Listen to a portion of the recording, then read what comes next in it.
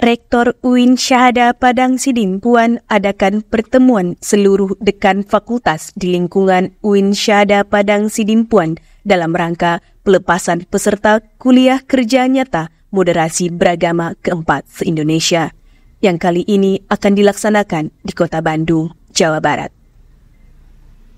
Kali ini UIN Syahada Padang Sidimpuan mengirimkan empat orang peserta. Di antaranya adalah Muhammad Sarif Muda Nasution dari Prodi Pengembangan Masyarakat Islam, Wira Atmaja Prodi Perbankan Syariah, Nasudera TTR Prodi Ilmu Al-Quran dan Tafsir, Kobul Baringin Hasibuan Prodi Pendidikan Agama Islam. Pada sambutannya, Rektor menyatakan bahwa KKN Moderasi Beragama keempat se-Indonesia ini dalam rangka memberi dan menerima wawasan keilmuan tentang tata kelola lembaga pendidikan dan sosial kultural. Oleh sebab itu, KKN Moderasi Beragama keempat se-Indonesia kali ini akan membangun wawasan keberagamaan dan kebinekaan mahasiswa. Sikap sosial dan etika sosial dan religius merupakan modal paling bagus dalam beraktivitas selama kegiatan ini.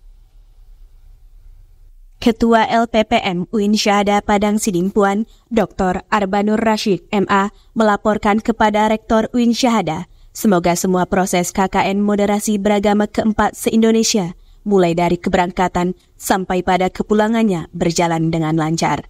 Selanjutnya, beliau menyampaikan bahwa KKN Moderasi Beragama keempat se-Indonesia merupakan salah satu komponen perkuliahan yang ada di dalamnya terdapat bentuk implementasi nyata dari bentuk pengabdian mahasiswa.